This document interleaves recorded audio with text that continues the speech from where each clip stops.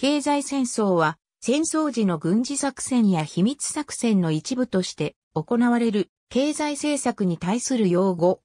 また、日本語においては、戦時ではなくとも国家間の経済利害の対立が深刻化した状態を指して使われることもある。この意味に近い英語はトレードウォーである。戦時の経済戦争の目的は、軍や諜報機関が効率よく作戦を遂行できるよう重要な経済資源を取り込むこと、そして敵が戦争をうまく遂行することができないように、敵の軍隊から資源を奪うことである。経済戦争の概念は、国民国家間の紛争、特に国家の軍隊だけでなく、戦時体制に向け国家全体の経済動員をも巻き込む国家総力戦の際に適用されることが最も多い。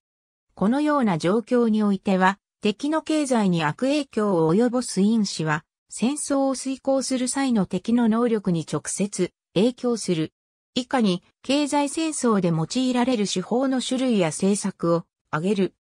封鎖ブラックリスト化貿易妨害法賞金的資産の取り込み明確な経済戦争の例は、第二次世界大戦中、連合国が数軸国経済から重要な資源を奪った上記の政策に従った点に見ることができる。